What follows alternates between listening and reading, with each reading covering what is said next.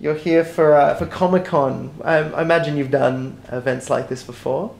Yeah, I've been to a few Comic Cons now. It's it's been in the past couple of years that uh, that's given rise to this whole subculture mm. of cons. I really enjoy them.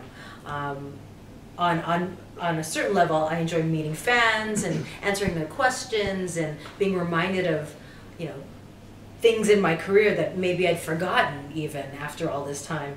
But on, a, on another level, I really enjoy the products that you can find at a con that you can't find anywhere else. I mean, Japanese anime, mm. trippy wigs, and Halloween costumes, and masks, and gauntlets, and swords, and you know, not to mention the comic books and, and, and animation that you find there. But uh, really, really fun stuff. Have you walked away with much uh, paraphernalia after them? Yeah, yeah. Usually I'll say, okay, I'm going to go take a break. And then I go scuttle down the sides and see if there's stuff to buy. Something for my child, something for myself. I've gotten more than a few Halloween costumes at some of these cons. Um, but uh, I, I, always thought, oh, maybe I should get a, a, a, disguise so I could put it on and I could shop without um, without getting you know getting sort of bombarded at the at the booth. But uh, you know, usually we only have ten minutes off in between signings and stuff, so I'll just eat something, you know, go to the restroom, go shopping for ten minutes, and come back. What do people ask you? What's the most common question you get asked at these sorts of events? Um, how is it like working with Arnold Schwarzenegger? Um, is he a good dancer? Uh, how was it working with Mike Myers and Dana Carvey? And are they funny like that all the time?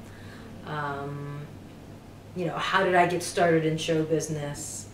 Um, were my parents in show business? Stuff like that.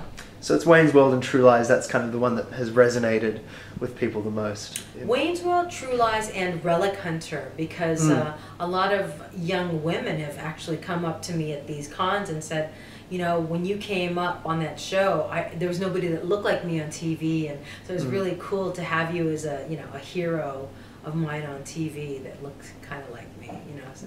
What does that What does that mean to you to have? It was. It's. It's.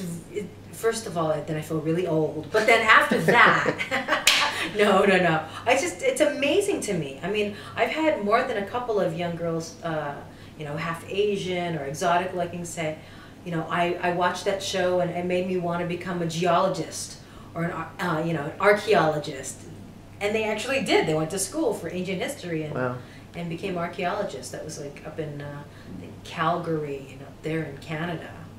So. Fantastic. Mm-hmm. What are you working on at the moment? I just did a film with Terry Polo, um, and I did some dialogue replacement on it, looping for it um, last week. So it should be coming out soon. It's called Final Recourse.